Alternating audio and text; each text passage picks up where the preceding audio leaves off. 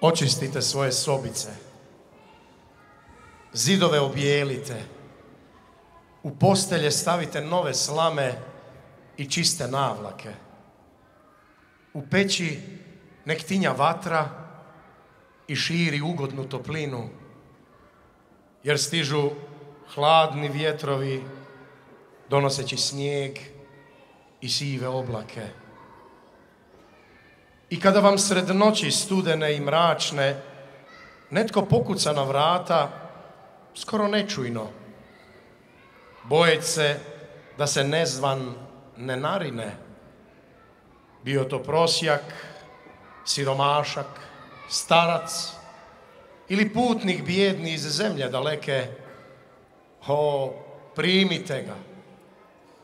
Dajte mu večeru toplu i krevet čisti bez stanarine.